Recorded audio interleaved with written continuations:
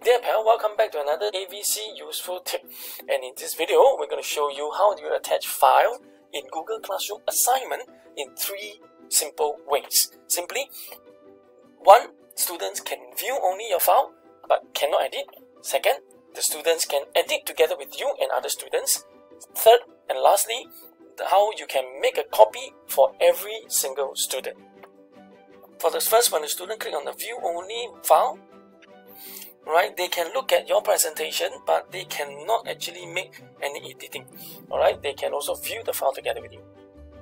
Again the students panel if they click on the edit file the students will be able to edit the file together with the teacher. For the copy for every student's uh, file okay the student will have the file as a personal work right? And when they click on the work, the file will be their own personal one and only they will be able to see when they click on this file for their own, okay, their own work, alright, and no other students can see this work, only themselves and the teacher. To give you further value enhancement, right, please stay to the end of the video and you will be importantly be shown three ways or the various ways where you can increase your scaffolding right to make your lesson more interesting right with different activities according to the different types of attachment right for increasing the in uh, the interest of your students in your topic to even enhance your students engagement and also formatively assess your students learning and application. All right if you like this video please remember to subscribe at the bottom right, or click this line on top. Remember to click the bell so that you'll be first to be notified of future video.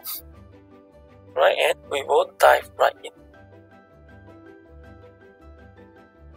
So now I'll be demonstrating how I'll be assigning three different works alright in Google Classroom for next year okay to prepare a student for one lesson that is will be enticing them to be able to focus at the beginning alright? And then the second part the second type of our worksheet or the assignment will be for them to be actually participating and involved with the work with me in class. And the last one will be for them to be able to do work on their own Alright, so I prepared three different work. Okay, alright. One is the demo, how we can assign this particular uh, uh, Google Slide drag and drop item, alright, as uh, a student can view file type. Alright, and the second, which is student can view file type. Alright, and then the second type will be second uh, student can edit file type. Okay, this will be the uh, item that will be uh, putting up in the Google Classroom for them to participate with me, right? And then uh, the last one will be to make a copy of the particular uh, this particular assignment, okay, which is this for them to do on their own, right? So we'll show you step by step how do you assign them in Google Classroom. Back to Google Classroom, okay, we will just go straight to classwork, okay, to assign the whole thing in under one assignment. Okay, so what you do is you go straight to create this button here, create, click on that, alright, and go to assignment when you are to upload document for the students to do with you, right? Assignment, okay? First of all, we will type in the title of the entire of this particular lesson, right? I've already written it, okay? Design three ways to attach files in Google Classroom right? We'll show you the three ways later, as I mentioned just now. Okay, the three that there are actually three different types of drag and drop files. Okay, made in Google Drive uh, slides. As mentioned, the first demo will be to attach the file as a student can view file. So, which is this particular one. Let's go to Google Classroom and this assignment under Add. You will find and click on Add. Okay, you go straight to Google Drive is where I have actually saved the three files okay? I click on Google Drive and because I've just done the editing it will appear in my recent right it's good to after you have designed the lesson or the files or the document straight away assign them straight into your Google Classroom. So you can find them in your recent which is in this case this is the particular one okay? Students can view Alright, so to find where to click this file type, okay, this is where you look at the location Alright, students can view the file. The, uh, the um, default one will be student can view, meaning let's take a look at the option. They cannot edit. They do not have a copy. They are looking at the copy of your original file. Well, remember to stay tuned to the end. We'll show you the purpose of using this, the benefit of using it, okay, in terms of assigning students a, a can view file only. Alright, so for this particular file is can view. Okay, so we will to attach the second one, which is the demonstration for the student can edit. So let's just attach the file first. Alright, like I said, the default is can view. So what you do is click on the triangle at the side and click on students can edit. In this case, they can edit your original file together with you or the students in your list. Okay, next, last but not least, we will add the last document, which is for the purpose of make a copy for every student and this is the one. Okay, I will double click on it. Alright, the default is still can view. I will have to and remember to click on the triangle and go down to the bottom, make a copy for each student. Alright, we got to deliberately do this and remember the step. Alright, so we have three different files, can view, can edit, and uh, to make a copy for each student. Alright, so the next one will be assigning to all, and then we'll be showing you how what is the purpose of each one. Okay, and to, to be more effective in your lesson, to entice students to be uh, more engaged and to arouse their interest for your topic. Okay, next one we will quickly um, set up the points and the topics, okay, as usual to make it easier for us to find the uh, the items in the future, alright, the assignment in the future. So let's set the topic now, okay. Alright, it will be a new topic that I want, which is uh, Google Classroom Tips. Alright, and for points, because it, uh, there are several activities in one assignment, there will be no point. Uh, assigning to all students, alright, and let's assign it. Now this assignment is right on top of the uh, stream of my Google Classroom, and we can uh, inform the students to click on this when you start the lesson, alright. Okay, after you click on the class, you will come straight to student work and then you can click on instruction to see the three files with the instruction that you may want to put in, in front, right? Alright, place the view for the teacher's Google Classroom on the left here and the student's view of the Google Classroom assignment on the right. Alright, so you can see that the teacher's view will have all three files. Similarly, the student's view will have three files. However, please take note, alright, for these two files, they are actually the students uh, can view and students can edit. Only the one that is make a copy for each student will be under the your work for assignment submission and handing in. So now I'll demonstrate how do you use the three different file types for your lesson effectiveness, alright, for the different purposes. Okay, cool. So the first one will be for students view only. Alright, let's click on that. And you will see that in the teacher's view, alright, there is the panel where the teachers can actually go through the uh, the, the, in this case is actually for notes purposes to lecture in the lesson or to go through concepts. Alright where the students can actually view your file okay? And the the best benefit is that whatever you type in the students can see but the students cannot type alright anything or make any changes. You can see that it's view only here on the students panel alright? And the only person involved in the work here is the teacher here this Alright, so let's say for example, I would like to add something into the information. Okay, uh, this I'm, I'm teaching them uh, displacement where it's involving is a bit small here, but in your screen you will only be seeing your own, that the student will see theirs. Alright, I want to type in some answer A, B, C, D. Alright, the student will be able to see the answer straight away on their panel.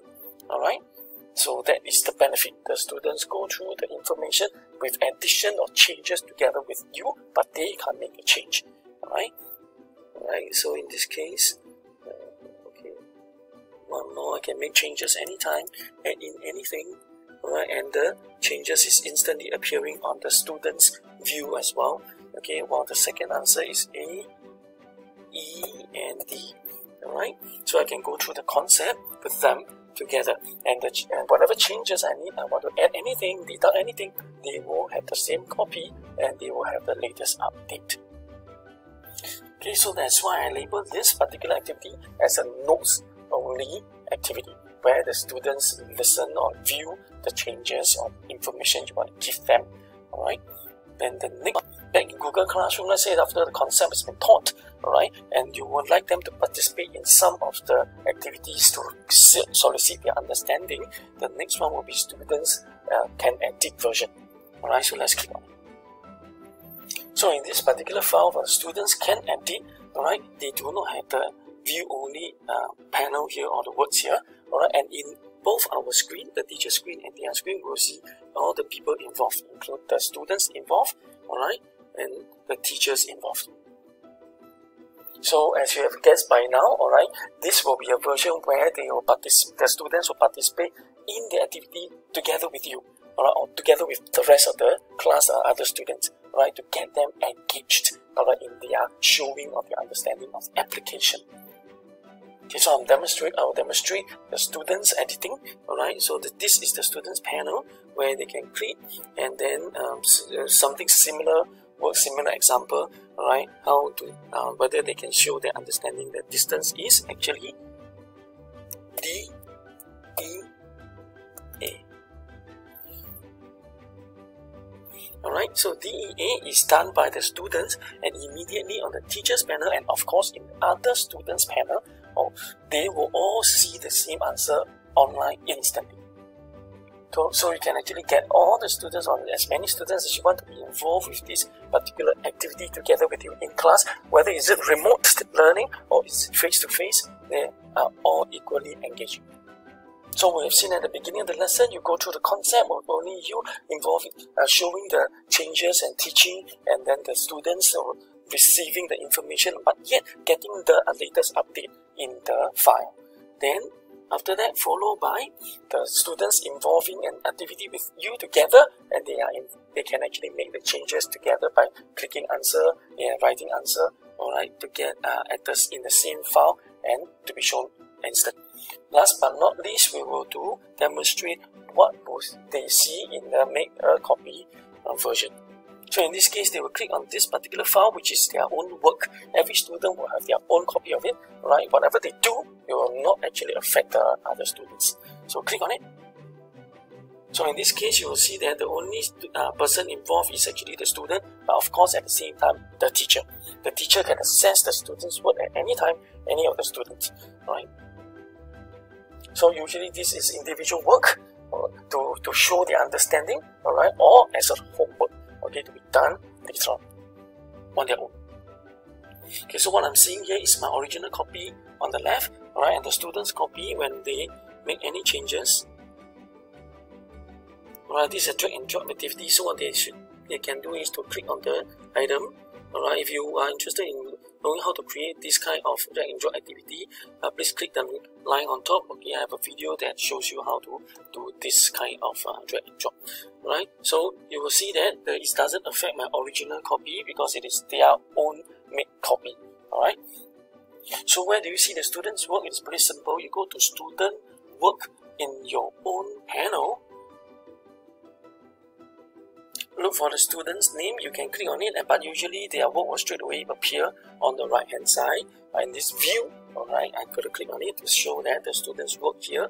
Then, because this is actually a Google Slide assignment uh, attached file, uh, the, the changes is made instantly on your own the teacher's version as well. So you can click on teacher's version here to take a look.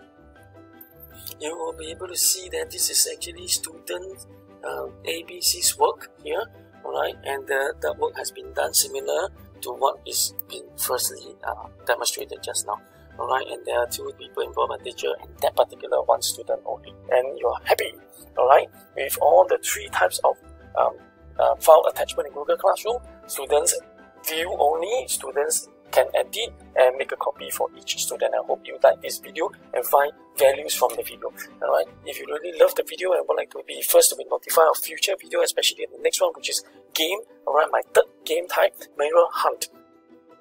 Please click subscribe at the bottom, alright, or click the subscribe using this button here. Remember to click the bell so that you'll be first to be notified about the next video and the future videos and give us a comment and give us a thumbs up. Alright, and I hope to see you again. Take care.